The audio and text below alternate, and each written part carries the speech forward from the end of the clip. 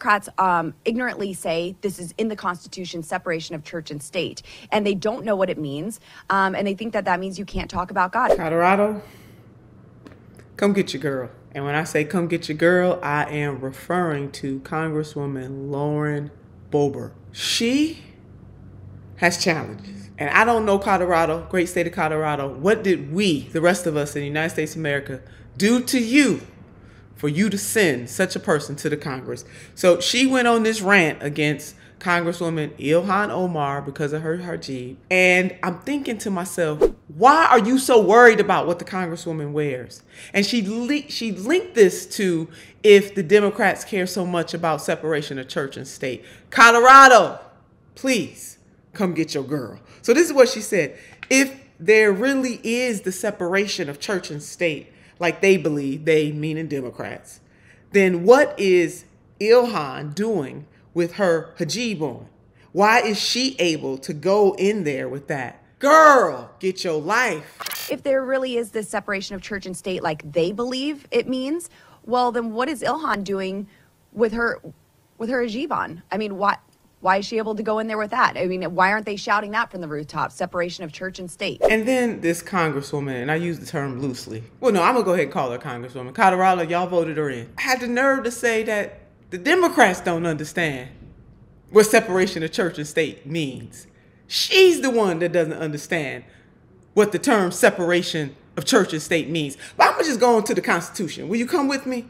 We're gonna see what the Constitution has to say about this. So it reads Congress shall make no law respecting an establishment of religion or prohibiting the free exercise thereof. So the fact that Congresswoman Ilhan Omar wears her hijab has nothing to do with the concept of separation of church and state. But see, she don't understand that. She doesn't get that the very fact that the congresswoman can express who she is, all of herself, and I'm talking about Congresswoman Ilhan Omar, is part of what this First Amendment is saying that you you, can, you just can't stop people do, doing that. But see, this chick doesn't get that. She'll make no law.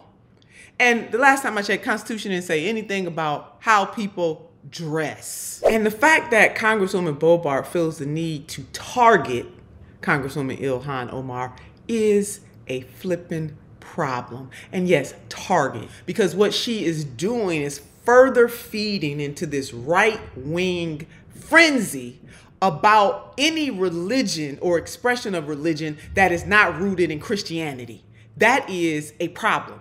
And not only does she put the Congresswoman in danger and her family in danger, she puts any other of our sisters and brothers and family and friends who are Muslim or who practice the faith of Islam in jeopardy. The woman is a fool, Colorado. Why, oh why? What have we ever done to deserve this? I want to know. Inquiring minds want to know, Colorado. Y'all got to weigh in on this because I'm trying to understand.